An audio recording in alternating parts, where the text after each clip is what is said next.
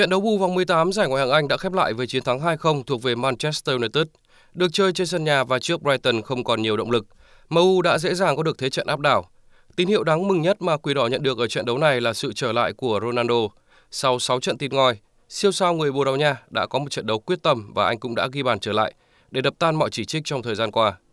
Trận thắng quan trọng này đã giúp Manchester United vượt qua West Ham để vươn lên vị trí thứ tư trên bảng xếp hạng với 43 điểm, hơn đối thủ 2 điểm qua đó nắm lợi thế trong cuộc đua giành vé dự Champions League mùa giải tới. Trong khi đó, Leeds đã có dấu hiệu tụt lại trong thời gian vừa qua. Đội chủ sân Elland Road đang trải qua giai đoạn khó khăn khi rớt xuống vị trí thứ 15 trên bảng xếp hạng. Đoàn quân của luyện viên Bielsa vẫn giữ được phong thái nhập cuộc rực lửa, nhưng hàng thủ đang cho thấy rất nhiều vấn đề khi chơi với tốc độ cao, mà trận thua 0-3 trước Everton vừa qua chính là bài học rõ ràng nhất.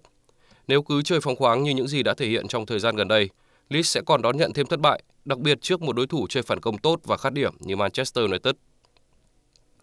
Manchester United sẽ có 4 cầu thủ không thể ra sân ở trận tới. Rất may là Quỷ Đỏ có sự trở lại của trung vệ Varane.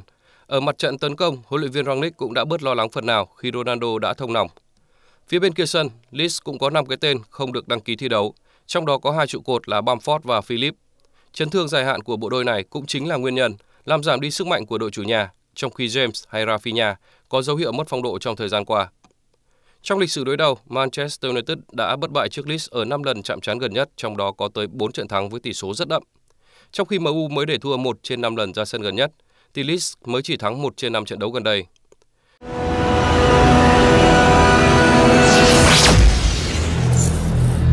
Tỷ lệ của trận này, Manchester United chấp Leeds 1 phần 2. Điểm yếu của đoàn quân huấn luyện viên Bielsa trong thời gian gần đây đến từ hai cánh, mà đây cũng chính là điểm mạnh của Manchester United với sự cơ động của Sancho và Rashford. Người chơi có thể đặt niềm tin vào đội khách ở kèo chấp này.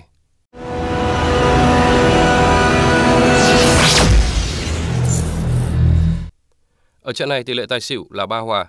Việc chơi với tốc độ cao nhưng thiếu đi sự nhuần nhuyễn đã khiến đội bóng của huấn luyện viên Bielsa rất dễ vỡ mỗi khi để thủng lưới. Trong lịch sử đối đầu, 4 trên 5 lần gặp giữa hai đội có ít nhất là 3 bàn thắng trở lên. Đây cũng có lẽ là trận cầu không ngoại lệ. Dự đoán của thể thao văn hóa, Manchester United vượt qua list với tỷ số 3-1.